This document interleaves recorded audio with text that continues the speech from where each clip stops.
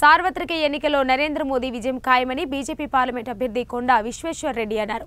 రంగారెడ్డి జిల్లా మైనాబాద్ మండలంలోని హిమాయత్ నగర్ ఎక్స్ రోడ్లో మండల గ్రామ కార్యకర్తల విస్తృత స్థాయి సమావేశం నిర్వహించారు. ఈ కార్యక్రమానికి ముఖ్య అతిథిగా బీజేపీ పార్లమెంట్ అభ్యర్థి కొండా విశ్వేశ్వర్ రెడ్డి హాజరయ్యారు. అంబేద్కర్ ఆశయాలను నిలబెడతాం అంబేద్కర్ సిద్ధాంతాలకు బీజేపీ కట్టుబడి ఉంటుందని అన్నారు. డాక్టర్ అంబేద్కర్ని దళితులను అవమానించిన పార్టీ కాంగ్రెస్ పార్టీ అని ఆయన ఎద్దేవా చేశారు. ఇప్పుడు బీజేపీపై కాంగ్రెస్ కల్లబొల్లి మాటలు చెబుతుందని ఆరోపించారు.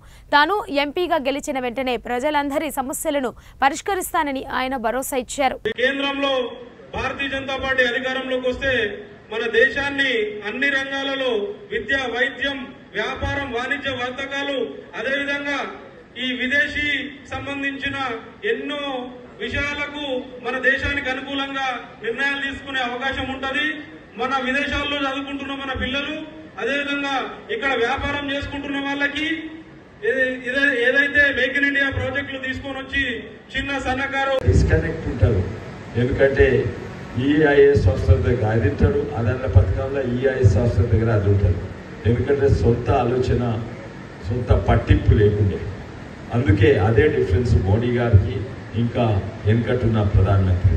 రూరల్ హౌసింగ్ ఉండే కానీ ఆ హౌసింగ్ సార్ ఎన్నో హౌసింగ్ సార్ల బాత్రూమ్స్ అయిపోయింది దాని తర్వాత యాదకి వచ్చింది కానీ ఆ ఇండ్లు ఉండేటట్లేదు. ఇప్పుడు ఎక్కడైనా చూడండి వాళ్ళ కాంగ్రెస్ ప్రభుత్వం కట్టిన ఇండ్లు ఎట్లున్నాయి? ఇవి గమనిస్తే మీరు బాబాసాహెబ్ అంబేద్కర్ గారు ఓసారి యాది యాది చేసుకోవాలి. ఆయన కూడా అంతోదే అన్నాడు.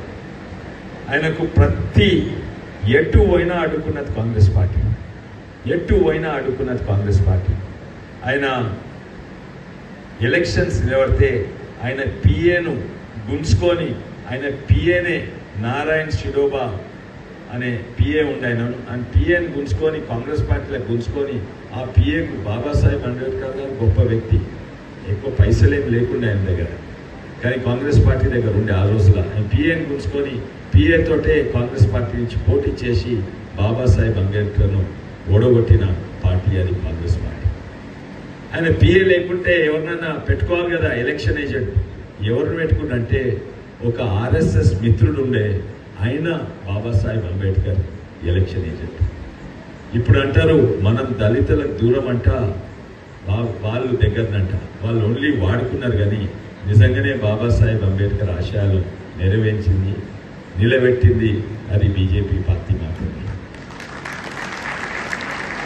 రెండు సార్లు ఓడగొట్టిండ్రు కాంగ్రెస్ పార్టీ. ఓడగొట్టినాక ఆ ఓడగొట్టినకు పద్మభూషణ్ ఇచ్చిండ్రు. న్యాయమా ఇది? పెద్ద మనిషిని